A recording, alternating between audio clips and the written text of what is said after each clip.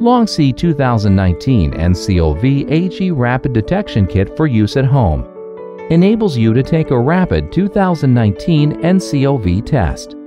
Before the test, read the instructions and follow the steps.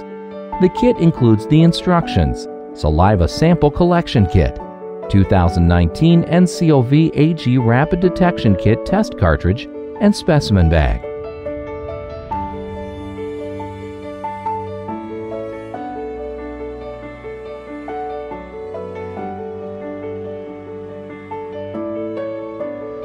Take out the saliva collector and take around 1 milliliter of saliva.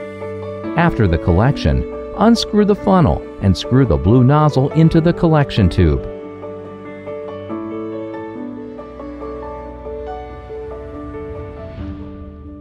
Turn upside down the collection tube slightly for 5 seconds, 10 times. Leave the collection tube stand for about 5 minutes for the saliva and buffer to thoroughly mix.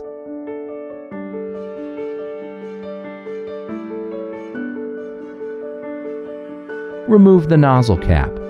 Drip 3 to 4 drops, about 100 milliliters, into the specimen well, S, on the test cartridge. Wait for the results.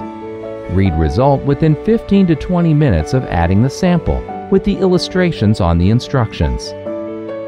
If two lines are visible, the result is positive. One line on the top means negative.